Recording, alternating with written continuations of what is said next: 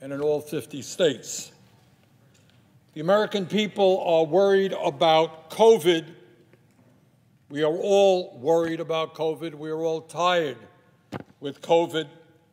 But the American people are worried about much more. They are worried about inflation, the price of food and gas and other products going up. They are worried about climate change and whether or not the planet that they will be leaving their kids and grandchildren will be healthy and habitable. They are worried about a middle class whose real inflation accounted for wages have not risen in almost 50 years, have been stagnant. And the reality that today half of our workforce is living paycheck to paycheck.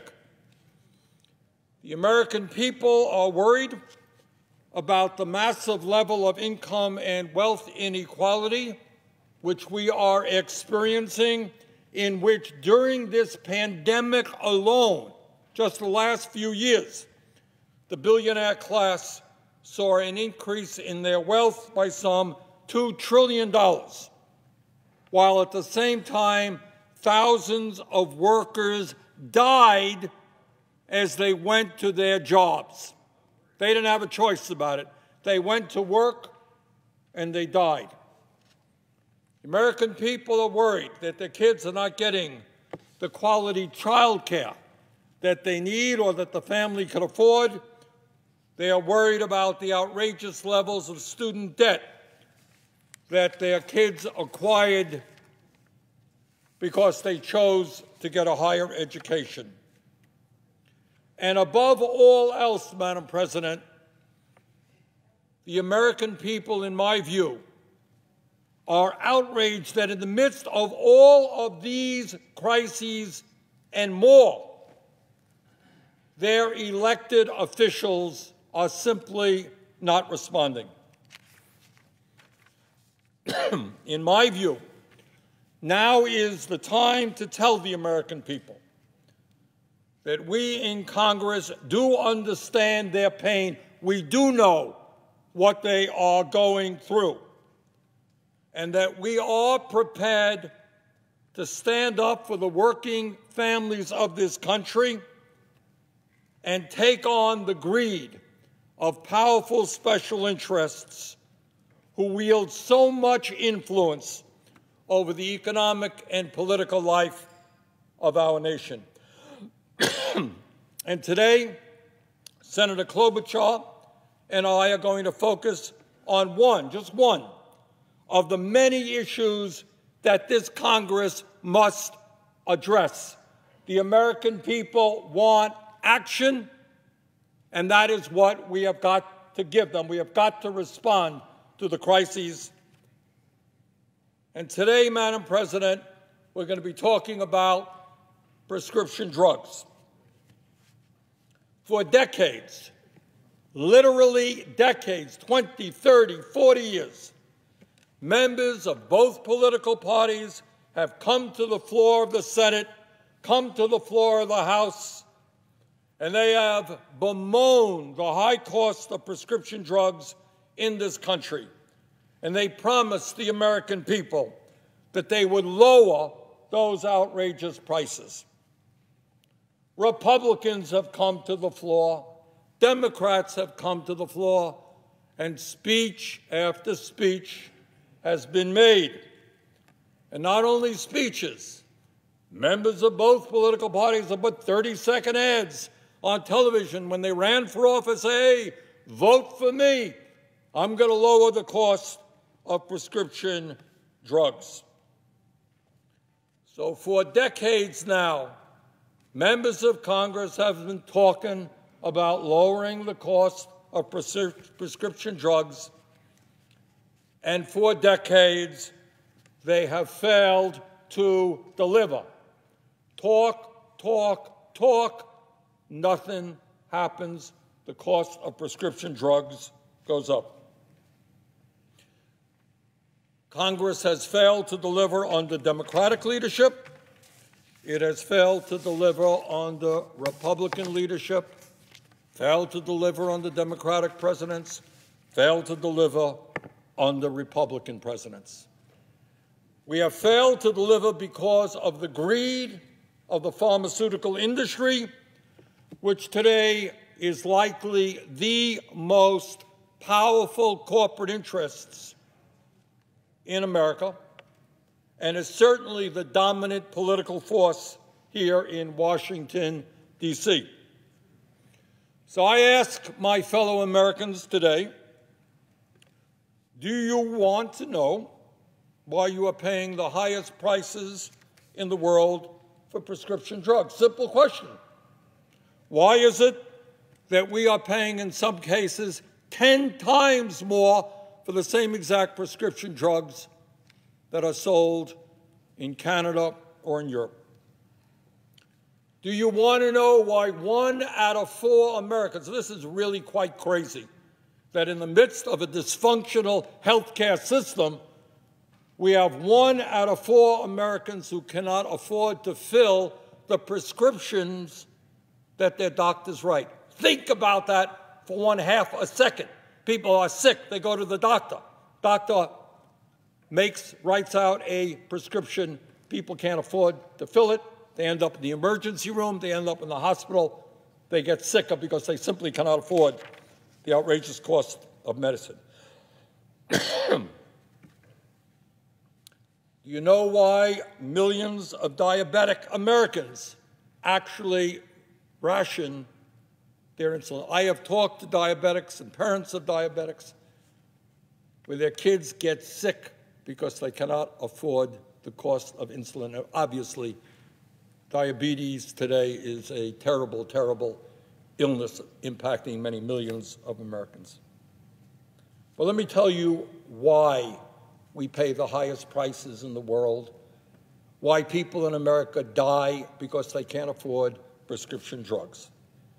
And the answer has everything to do with a corrupt political system in which, over the past 20 years, the pharmaceutical industry has spent over four and a half billion, not million, four and a half billion dollars on lobbying and hundreds of millions of dollars in campaign contributions. Yes, you heard that correctly.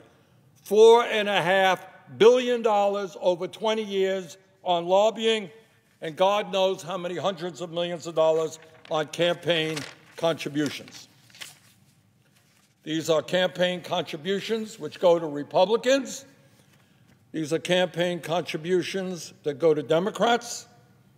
And I am talking about many hundreds of members of the House and Senate who receive funding from the pharmaceutical industry. Further, the pharmaceutical industry has, over the years, mounted an unprecedented lobbying effort in Washington, here in the nation's capital, and in states all over the country. And I hope everybody hears this, because this is what power is about. This is why you pay the highest prices in the world for prescription drugs. Last year alone, the pharmaceutical industry hired more than 1,700 well paid lobbyists to come to Capitol Hill to protect their interests including the former congressional leaders of both major political parties. Got that? 1,700 well paid lobbyists protecting the interests of the pharmaceutical industry. Get out your calculator because what that amounts to is three pharmaceutical industry lobbyists for every member of Congress. 435 members in the House, 100 in the Senate, 1,700 well paid lobbyists, making sure that you pay the highest prices in the world for prescription drugs. And what is the result of all of that lobbying and all of those campaign contributions? Well, I think the American people know it every time they walk into a drugstore. The pharmaceutical industry, uniquely in the entire world, is able to raise their prices anytime they want to any level that they want. How many people out there walked into a drugstore, ordered their, refilled their prescription, pharmacist says, well, I'm sorry to tell you, cost of your uh, medicine has gone up 20%. Why? Because they can. They can do anything they want. Want to double prices, triple prices? There is no law stopping them. And that's what you get when you spend billions of dollars on lobbyists and campaign contributions. You get what you pay for, and they have gotten what they paid for. Madam President, not only do we pay the highest prices in the world for prescription drugs, but the result of that is the pharmaceutical industry, year after year, makes huge profits. Eight of the largest drug companies in America last year, no, in 2020, eight of the largest drug companies in the United States in 2020 made nearly $50 billion in profits, while the CEOs of those pharmaceutical companies took home over 350 million in total compensation. Eight companies 350 million in compensation for the CEOs of those companies. 50 billion in profits in the last year we have information. So let's be very clear. The overriding motivation of the pharmaceutical industry is greed. Their overriding goal is to make as much money as they can by squeezing as much as they can get from the sick, from the elderly, and from the desperate. I could give you many, many examples of the outrageous greed of the pharmaceutical industry, and I'm not even going to talk about the opiate, opiate crisis, which has killed hundreds of thousands of Americans. Not even go there today. But let me just mention that just a few years ago, the former CEO of a drug company called Gilead, became a billionaire by charging $1,000 for the hepatitis drug Sovaldi. Became a billionaire. Interestingly enough, that drug was developed by taxpayer dollars through the Veterans Administration. And while they charge $1,000 a treatment here in the United States, Turns out that it costs a dollar to manufacture and can be purchased in India for all of four dollars, thousand bucks here, four dollars in India. In 2016, the chairman of Mylan received a $164 million compensation package after his company jacked up the price of EpiPen. You'll remember EpiPen by 550% over a nine year period. Madam President, all over this country, the American people are asking a simple question. How many people in our country need to die? How many people need to get unnecessarily sicker before Congress is prepared to take on the greed and power of the pharmaceutical industry? Enough is enough. A life saving prescription drug does not mean anything if you cannot afford that drug. You got great drugs out there. What does it mean if you can't afford that drug? Or if you're going to go bankrupt because you have to buy it for a family member. Madam President, we cannot allow the pharmaceutical industry to charge the American people by far the highest prices in the world for prescription drugs. And that is why I have introduced today, along with Senator Klobuchar, legislation that would cut the cost of prescription drugs under Medicare in half.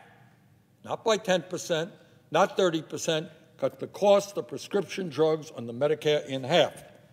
And it would do that by making sure that Medicare pays the same low prices for prescription drugs as the Veterans Administration does.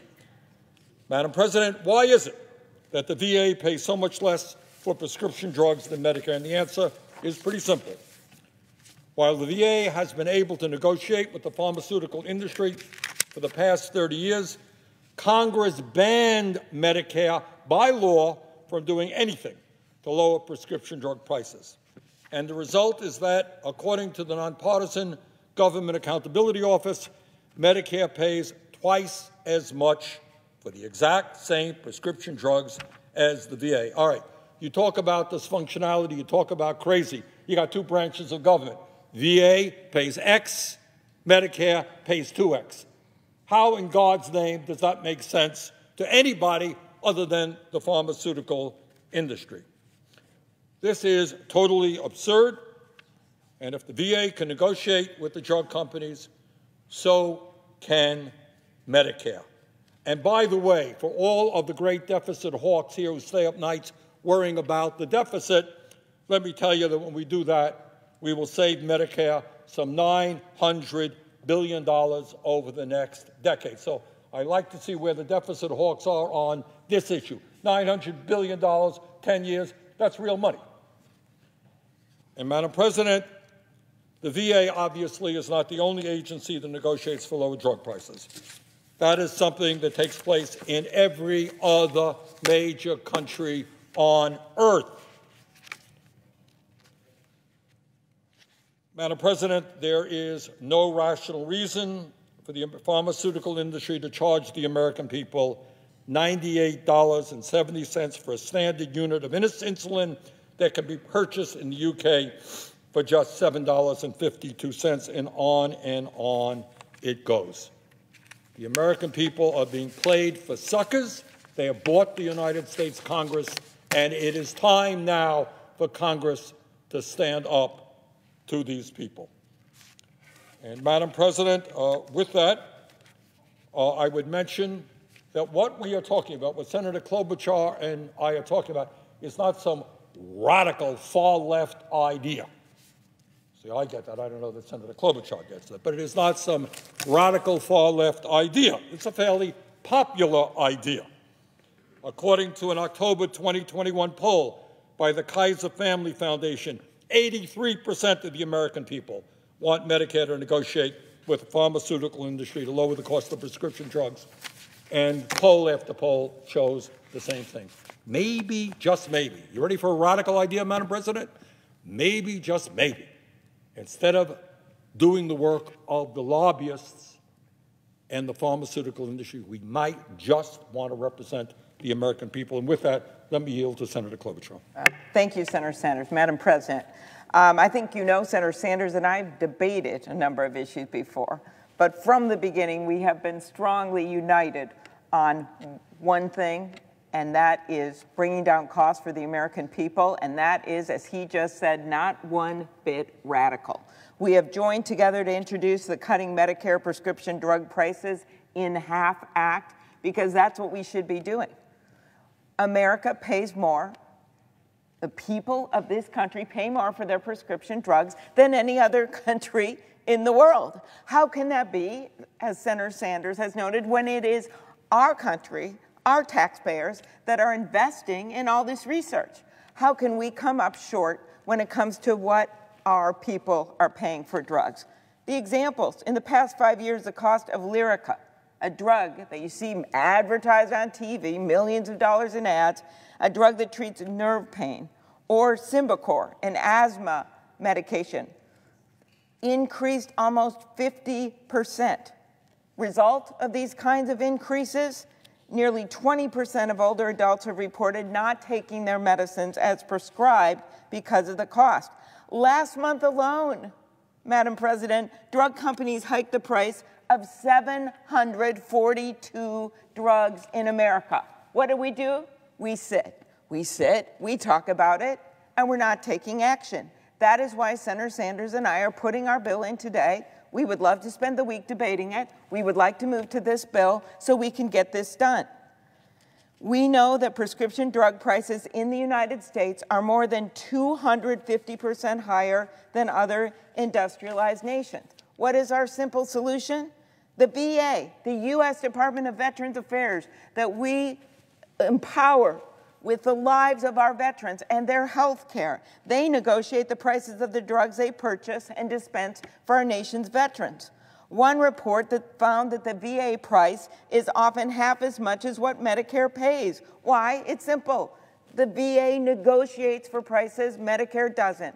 And I kind of think, and Senator Sanders and I know this well, that 46 million seniors in America could get a pretty good deal if you allowed the government to negotiate on their behalf a good deal for the taxpayers of this country, for people that care about deficits, for people that care about the bottom line budget, and a good deal for customers. And guess what? It wouldn't just help seniors because that is such a large block of customers in this country that it would bring down the drug costs for everyone the stories in my state, people like Claire from St. Paul, when the cost of the prescription drugs she relied on to manage her rheumatoid arthritis jumped from $60 per month to 1,400 per month. She could no longer afford it. In her words, her arthritis became so bad that she could barely handle a fork and a knife. Or the young man who was a manager of a restaurant, full time job, when he aged off his parents' insurance, what happened to him, and you know this story, Madam President. He started to ration his insulin. He had severe diabetes, and he died. And his mother has made her life about getting better drug prices. And Senator Sanders and I believe you start with the biggest buying block, you start with seniors, you get that negotiation going, and it will make a big difference. For people who believe in free markets and negotiation and competition, I don't know how you can say no to this proposal. It is time to allow this to be debated to move forward with this bill. Let's get it on the floor and call it up for a vote. Thank you, Senator Sanders. I think Senator Klobuchar said it all. I know you're spending the week dealing with assistant secretaries or something or another, and that's all terribly important, but the American people want us to start acting on their needs. And at the top of the list, the Senator Klobuchar just said, and what she said about folks in Minnesota, exactly the same. Hear the same stories in Vermont. People dying, get sick because they can't afford prescription drugs. So I think and I say to my Republican friend, the time is now to have that debate. You want to vote against this bill? Hey, that's your right. You go home and explain it to the people. It's what democracy is. Some of us still believe in democracy, by the way. So I would say that, uh, Madam President, as if in legislative session, I ask unanimous consent that at a time to be determined today by the majority leader, following consultation of the Republican leader, the Senate proceed to the consideration of S 3615, which was introduced earlier today, that there be two hours for debate equally divided, that upon the use or yielding back of time, the bill be read a third time, and the Senate vote on passage of the bill without intervening action or debate. Is there objection? Madam President, reserving the right to object. The Senator from Idaho. Thank you, Madam President. Our nation's seniors deserve meaningful solutions that increase prescription drug access and affordability. This bill, unfortunately, would double down on the deepest flaws in our current healthcare system and usher in a host of new problems from fewer treatments to more bureaucracy. And yes, it's almost certain under this legislation we would see launch prices